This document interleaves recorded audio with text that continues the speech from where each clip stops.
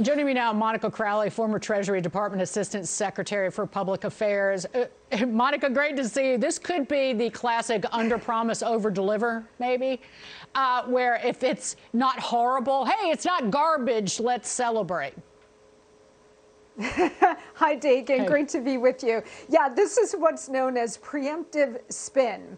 So the White House probably has a pretty good idea that the January jobs number coming out on Friday is not going to be very good. In fact, there's some speculation that, in fact, we could see job losses rather than jobs recovered. And keep in mind, throughout this whole period, we have not been talking about jobs being created in this economy. We've been talking about jobs being recovered uh, from the pandemic, pandemic shutdowns. So it's possible that they have an inkling that we're going to actually see job losses in the month of January, and they're trying desperately to try to get in front of it. Well, the, White House, they seem to be, and the Democrats too, kind of the talking heads that you'll hear who come on and just regurgitate talking points. Uh, they act like they're not getting enough credit for this awesome economy. Ron Klain, the White House chief of staff, tweeted this after the recent economic numbers the strongest economic growth in 38 years, lots of periods, and he retweets people over and over again. Well, the American people think that the economy is craptastic. So you know, inflation's running at almost 40-year high. People's real wages, inflation-adjusted wages, fell last year roughly two and a half percent. So stop. They're in this bubble of where they think that if they tweet and retweet Elizabeth Warren and other left wingers, that the American people will just wake up to the Biden administration's awesomeness. yeah, good luck with that, Dagen, on their part. Uh, look, they think that if they continue to put out mistruths or try to stretch the truth about the economy, that their fellow travelers in the mainstream press will just amplify the lie, which, you know, is a pretty good assumption. Most of the time they do do that. But to your point, the American people are living this economy on the ground every day.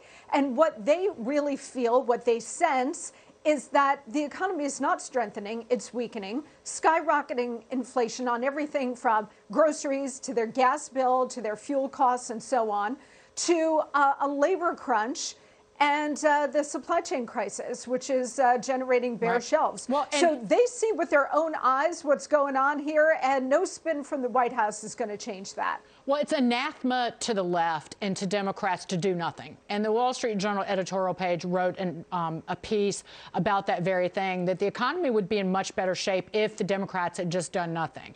Uh, the money that went out in the, the, early spending package in the beginning of Biden's term, it exacerbated supply chain problems that might have happened anyway, but made them so much worse because it spiked demand, but also just the way that they have handled uh, Omicron. They're draconian measures. You still have these, quar- the, these quarantine rules or suggestions coming out of the government that need to be shorter. You still have unboosted people should quarantine after exposure. Uh, for five days. So that has made the job market or the job situation worse right now. Yeah, exactly right. So you have a couple of things going on that could give us a bad number on Friday for January. One is, as you point out, these vaccine mandates are, are still rampant, particularly in the blue states, which are really lagging behind the red states in terms of driving whatever economic recovery we have.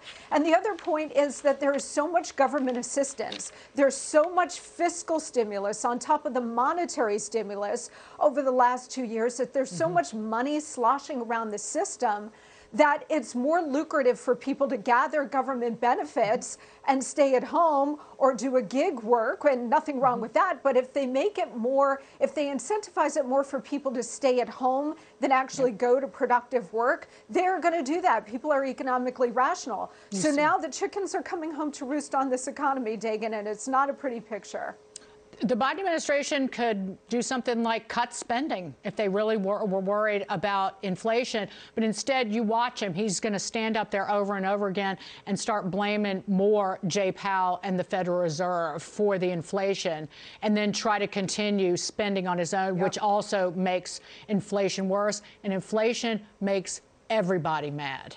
Monica, good to see you. Thank you so much for being here. You too. Thanks, Monica Dagen. Crowley.